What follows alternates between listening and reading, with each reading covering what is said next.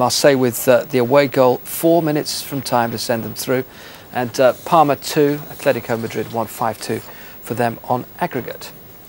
Well, Manchester United stretched their legs in two. From Edson. And Andersson finally wastes the opportunity to cross to Signori.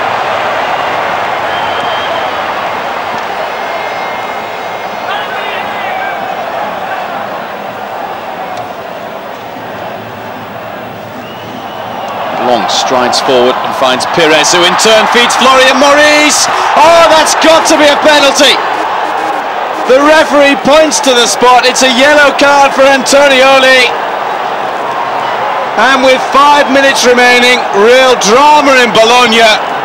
Marseille have a chance to get the goal that could take them through to the UEFA Cup final. What a great ball from Gourvennec. He finds Maurice, who took it in his stride well.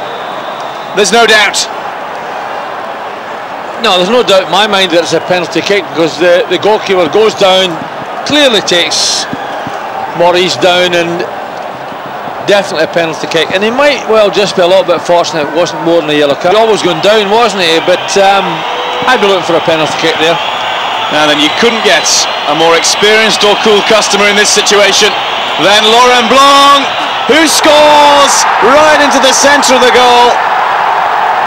But the Marseille celebrations are going to be cut short. Blanc hasn't seen the referee yet. The penalty is going to have to be taken again.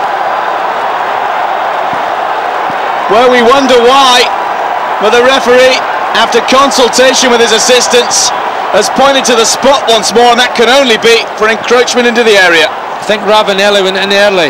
I think that's what's what's happened. Well, there's some arms, there's some jostling. There are two players. Ravanelli was one of them. And Laurent Blanc really has a test of nerve now.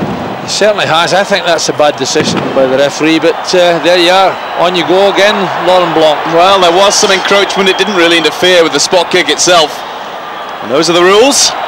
And Laurent Blanc, well, we mentioned his coolness before. Don't forget, he's uh, scored in a World Cup quarter-final from the spot in a shootout against Italy.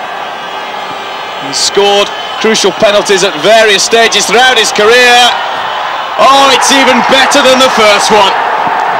Right into the corner. Marseille fans finally overcome their bewilderment and celebrate properly a second time. It's 1-1 in Bologna and Marseille have four minutes until they reach the final of the UEFA Cup unless the hosts can hit back. How cool can you